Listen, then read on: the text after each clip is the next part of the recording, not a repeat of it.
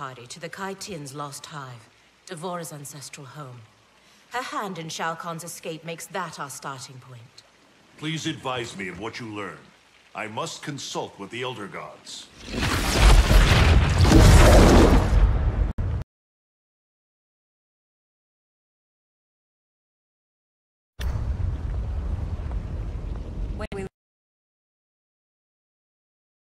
Your duty lies elsewhere, Princess.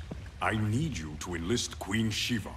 Her support is critical against both Kronika and Shao Kahn. Surely you can... Queen Shiva does not trust me. No Shokan has since my bloody battle with Goro. Shiva's always respected your opinion more than anyone's. When she hears you support Kotal, she'll join us. If that is my duty, so be it. Thank you, Princess. Are you my friend or his consort? It was my idea, Kitana. It's in your best interest. Succeed with Shiva, and Kotal will pledge his loyalty to you. There's no bond more sacred to an Osh-Tekk like him.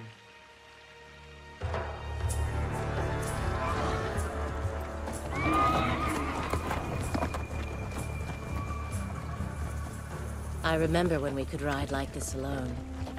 My life has changed as Outworlds come. Thankfully, you have not. You haven't changed much either, despite the years.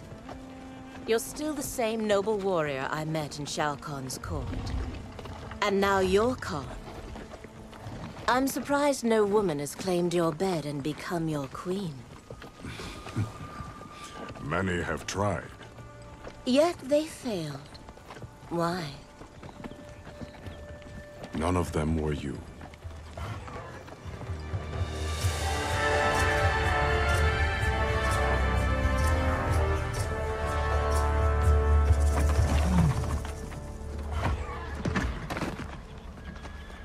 There are fresh tracks leading into the hive.